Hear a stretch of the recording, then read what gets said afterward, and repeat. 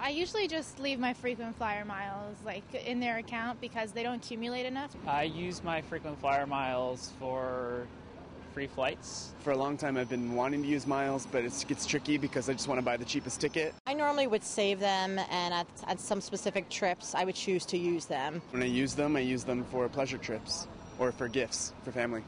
There's constantly blackout dates. Blackout dates. Kind of a pack rat with these points. I bring my children to New York City. The important thing is to understand exactly what it takes to redeem a ticket. Uh, today, typically, you have to have at least 25,000 miles.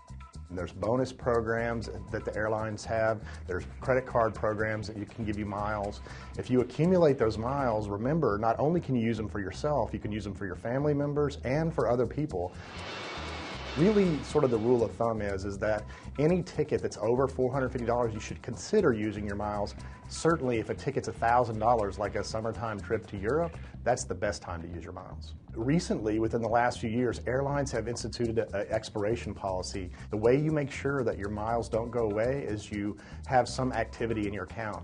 In some cases, if you're not flying that airline much, you know, buying a magazine subscription with your miles also counts as activity. So be sure you have activity. Check your miles once every quarter or so if you're not using them very often.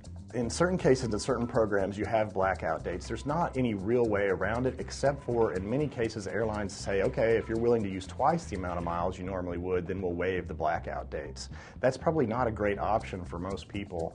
Um, if you're one of these people that has millions and millions of miles because you fly a lot, maybe that's an option for you. But just remember, man, well over 90% of the people never accumulate enough miles to actually redeem a ticket. Check out sites like flyertalk.com, milepoint.com. They have a vibrant community of people that all they do is study points programs, redemptions, award coupons, how to maximize your miles. That's your best bet.